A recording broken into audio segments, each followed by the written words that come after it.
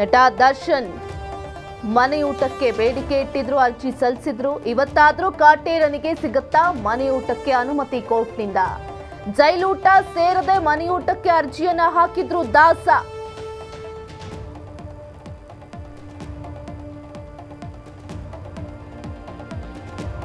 ದರ್ಶನ್ಗೆ ಮನೆಯೂಟದ ವಿಚಾರಣೆ ಬಗ್ಗೆ ಇವತ್ತು ತೀರ್ಪು ಬರ್ತಾ ಇರುವಂತದ್ದು ಮ್ಯಾಜಿಸ್ಟ್ರೇಟ್ ಕೋರ್ಟ್ಗೆ ಅರ್ಜಿ ಸಲ್ಲಿಸಿದ್ರು.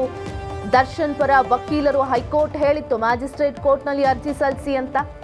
ನಟ ದರ್ಶನ್ ಅಂಡ್ ಗ್ಯಾಂಗ್ನಿಂದ ರೇಣುಕಾಸ್ವಾಮಿ ಕೊಲೆ ಕೇಸ್ನಲ್ಲಿ ದರ್ಶನ್ ಅವರು ಜೈಲೂಟವನ್ನ ತಿಂತಾ ಇದ್ದಾರೆ. ಆದ್ರೆ ನನಗೆ ಊಟ ಅಡ್ಜಸ್ಟ್ ಆಗ್ತಾ ಇಲ್ಲ ಅನ್ನೋ ನಿಟ್ಟಿನಲ್ಲಿ ಆರೋಗ್ಯದಲ್ಲಿ ಏರುಪೇರು ಆಗ್ತಾ ಇದೆ.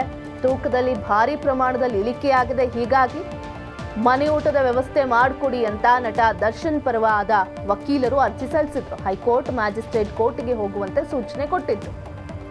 ಇವತ್ತು ಅವರ ಹೆಲ್ತ್ ರಿಪೋರ್ಟ್ ಏನಿದೆ? ಮೆಡಿಕಲ್ ಟೆಸ್ಟ್ ಮಾಡಿದ ನಟ ದರ್ಶನ್ ಅವರಿಗೆ ಅದರ ವರದಿ ಕೂಡ ಇವತ್ತು ಕೋರ್ಟ್ಗೆ ಸಲ್ಲಿಸಬೇಕು ಅನ್ನೋ ನಿಟ್ಟಿನಲ್ಲಿ ಹೈಕೋರ್ಟ್ ಆದೇಶ ಮಾಡಿತ್ತು. ಇವತ್ತು ಅವರ ಒಂದು ರಿಪೋರ್ಟ್, ಹೆಲ್ತ್ ರಿಪೋರ್ಟ್ ಏನಿದೆ? ಅವ್ರದ್ದು ಹೆಲ್ತ್ ರಿಪೋರ್ಟ್ ಕೂಡ ಕೋರ್ಟಿಗೆ ಸಲ್ಲಿಸುವಂಥದ್ದು ಜಡ್ಜ್ ಕೈ ಸೇರತ್ತೆ. ಸೊ ಹೀಗಾಗಿ, ಯಾಕಂದರೆ ಪ್ರಮುಖವಾಗಿ ಅಂತಿಂತ ಸುಮ್ಮನೆ ಯಾವುದೋ ಚಿಕ್ಕ ಕೇಸ್ ಅಲ್ಲ.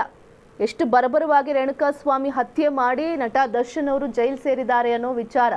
ಅದರ ಆ ಒಂದು ಆರೋಪದ ಮೇಲೆ ಈಗ ಜೈಲಲ್ಲಿದ್ದಾರೆ. ಸುಖ ಸುಮ್ಮನೆ ನಟ ದರ್ಶನ್ ಅವ್ರಿಗೆ ಊಟ ಅಡ್ಜಸ್ಟ್ ಆಗ್ತಿಲ್ಲ ಅಂತ ಮನೆ ಊಟಕ್ಕೆ ಪರ್ಮಿಷನ್ ಕೊಡೋದಕ್ಕಾಗಲ್ಲ ಉಳಿದಂಥ ಕೈದಿಗಳು ಕೂಡ ಕೇಳ್ತಾರೆ.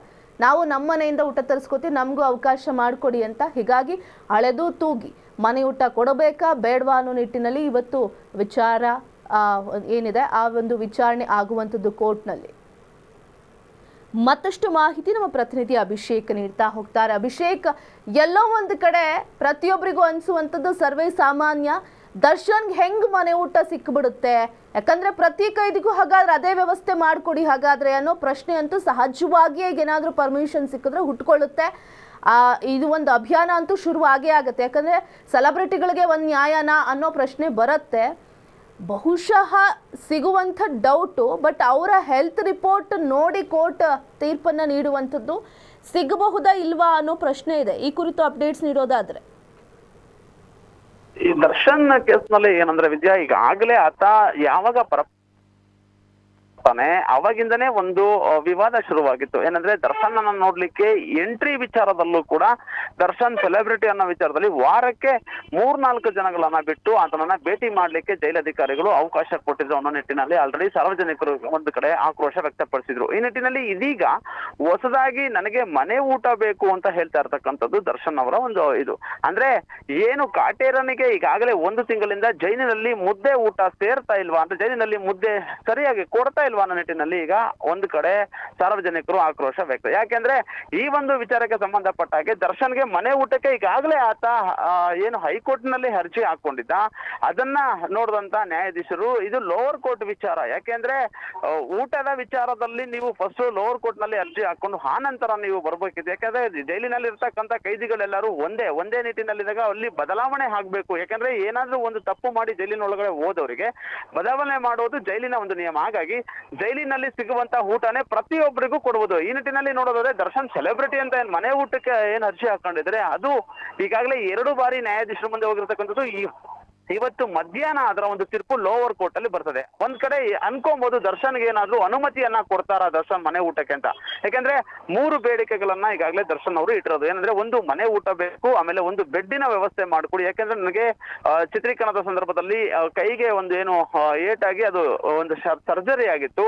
ಹಾಗಾಗಿ ನನಗೆ ಮಲಗಲಿಕ್ಕೆ ಹಾಕ್ತಲ್ಲ ಹಾಗಾಗಿ ಒಂದು ಬೆಡ್ಡಿನ ವ್ಯವಸ್ಥೆ ಮಾಡ್ಕೊಂಡು. ಜೊತೆಗೆ ಒಂದಿಷ್ಟು ಪುಸ್ತಕಗಳನ್ನ ನನಗೆ ಕೊಡಿ ಅಂತ ಒಂದು ಬೇಡಿಕೆನ ಇಟ್ಟಿದ್ರು.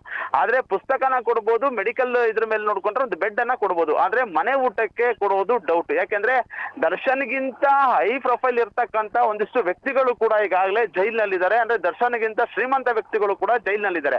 ಒಂದು ವೇಳೆ ಏನಾದ್ರೂ ದರ್ಶನ್ಗೆ ಏನಾದ್ರು ಈ ಒಂದು ಮನೆ ಊಟದ ಅರ್ಜಿ ಅಪ್ರೂವಲ್ ಆಗಿ ಏನಾದ್ರು ಮನೆ ಊಟ ವ್ಯವಸ್ಥೆ ಮಾಡಿದ್ರೆ ಉಳಿದಂತ ಕೈದಿಗಳು ಕೂಡ ಅರ್ಜಿಗಳನ್ನ ಹಾಕೊಳ್ಳಿಕ್ಕೆ ಶುರು ಮಾಡ್ತಾರೆ. ಹಾಗಾಗಿ ಏನು ಕೊಲೆ ಆರೋಪದಲ್ಲಿ ಇರ್ತಕ್ಕಂತಹ ಕೈದಿಗಳಿಗೆ ಏನು ಊಟವನ್ನ ಕೊಡ್ತಾರೆ? ಜೈಲಿನಲ್ಲಿ ಸಿಗುವಂತಹ ಪ್ರತಿ ಬೆಳಿಗ್ಗೆ, ಮಧ್ಯಾಹ್ನ, ಸಂಜೆ ಏನು ಊಟ ಕೊಡ್ತಾರೋ ಆ ಊಟವನ್ನೇ ಮಾಡ್ಲಿಕ್ಕೆ ನ್ಯಾಯಾಧೀಶರು ಏನಾದ್ರು ಅನುಮತಿಯನ್ನ ಕೊಟ್ಟರೆ ಇದನ್ನೇ ಕೊಡಬೇಕು, ಯಾವುದೇ ರೀತಿಯಾದಂತಹ ಮನೆ ಊಟಕ್ಕೆ ಅವಕಾಶ. ಅಂದ್ರೆ ಕೊಡಬಹುದು ಯಾವಾಗ ಈತನ ಆರೋಗ್ಯದ ದೃಷ್ಟಿಯಲ್ಲಿ ಈತನಿಗೆ ಬೇರೆ ಏನು ಊಟ ಸೇರ್ತಲ್ಲ ಪರ್ಟಿಕ್ಯುಲರ್ ಆಗಿ ಡಾಕ್ಟರ್ ಒಂದಿಷ್ಟು ಮೆನುವನ್ನ ಕೊಟ್ಟಿರ್ತಾರೆ. ಆ ಊಟನೇ ಕೊಡಿ ಅಂತ ಸಂದರ್ಭದಲ್ಲಿ ಅವನ ಆರೋಗ್ಯ ದೃಷ್ಟಿಯಿಂದ ಇಟ್ಟುಕೊಂಡು ಒಂದು ಊಟಕ್ಕೆ ವ್ಯವಸ್ಥೆ ಮಾಡ್ಕೊಡ್ಬೋದು. ಆದ್ರೆ ದರ್ಶನ್ಗೆ ಆ ರೀತಿಯಾದಂತಹ ಆರೋಗ್ಯ ಸಮಸ್ಯೆ ಏನಿಲ್ಲ. ಅಂದ್ರೆ ಕೈಗೆ ಫ್ರಾಕ್ಚರ್ ಆಗಿ ಮಲಗ್ಲಿಕ್ಕೆ ಆಗ್ತಿಲ್ಲ ಒಂದು ವಿಚಾರದಲ್ಲಿ ಒಂದು ಬೆಡ್ ಅನ್ನ ವ್ಯವಸ್ಥೆ ಮಾಡ್ಕೊಡ್ಲಿಕ್ಕೆ ಮಾಡಿದ್ರೆ ಅದನ್ನ ಬಿಟ್ರೆ ಊಟದ ವ್ಯವಸ್ಥೆಯಲ್ಲಿ ದರ್ಶನ್ಗೆ ಏನು ಅನುಮತಿ ಕೊಡ್ತಾರೆ ಅನ್ನೋದು ಒಂದು ಕಡೆ ಯಕ್ಷ ಪ್ರಶ್ನೆಗೆ ಕಡುತ್ತೆ ಅದರಲ್ಲೂ ಕೂಡ ಸಾರ್ವಜನಿಕರ ಏನಾದ್ರೂ ಆಕ್ರೋಶ, ಈಗಾಗಲೇ ನಾನು ಹೇಳಿದಾಗೆ ಎಂಟ್ರಿ ವಿಚಾರದಲ್ಲೇ ಕೂಡ ವಾರಕ್ಕೆ ನಾಲ್ಕೈದು ಬಾರಿಗಳು ಸೆಲೆಬ್ರಿಟಿನ ನಿಟ್ಟಿನಲ್ಲಿ ಬಿಡ್ತಾ ಇದ್ರು ಅನ್ನೋ ನಿಟ್ಟಿನಲ್ಲಿ ಜೈಲಧಿಕಾರಿಗಳ ಮೇಲೆ ಒಂದು ಆಕ್ರೋಶ ವ್ಯಕ್ತವಾಗಿದ್ರು. ಹಾಗಾಗಿ ಈಗಾಗಲೇ ಸಹ ಕೈದುಗಳು ಕೂಡ ಅಂದ್ರೆ ದರ್ಶನ್ ಹೊರತುಪಡಿಸಿ ಏನು ಜೈಲಿನಲ್ಲಿ ಈಗ ಶಿಕ್ಷೆ ಅನುಭವಿಸ್ತಾ ಇದ್ದಾರೆ, ಅವರು ಕೂಡ ಆಲ್ರೆಡಿ ಅವರ ವಕೀಲರುಗಳನ್ನ ಸಂಪರ್ಕಿಸಿ ದರ್ಶನಿಗೆ ಏನಾದ್ರೂ ಮನೆ ಊಟವನ್ನ ಕೊಟ್ರೆ ನಮಗೂ ಕೂಡ ಅರ್ಜಿಗಳನ್ನ ಹಾಕಿ ಅನ್ನೋ ನಿಟ್ಟಿನಲ್ಲಿ ಈಗಾಗಲೇ ಒಂದು ಮಾಹಿತಿ ಕೇಳಿ ಬರ್ತಾ ಇರ್ತಕ್ಕಂಥದ್ದು. ಹಾಗಾಗಿ ಇವತ್ತು ದರ್ಶನ್ ಅರ್ಜಿ ವಿಚಾರಣೆ ಆಗುತ್ತೆ. ಅದರಲ್ಲಿ ನೂರಕ್ಕೆ ತೊಂಬತ್ತು ಭಾಗದಷ್ಟು ದರ್ಶನ್ಗೆ ಈ ಒಂದು ಮನೆ ಊಟ ಕೊಡೋದು ಡೌಟ್ ಇದೆ ವಿದ್ಯಾ. ಓಕೆ ಧನ್ಯವಾದಗಳು ಅಭಿಷೇಕ್ ತಮ್ಮೆಲ್ಲ ಡೀಟೇಲ್ಸ್ಗೆ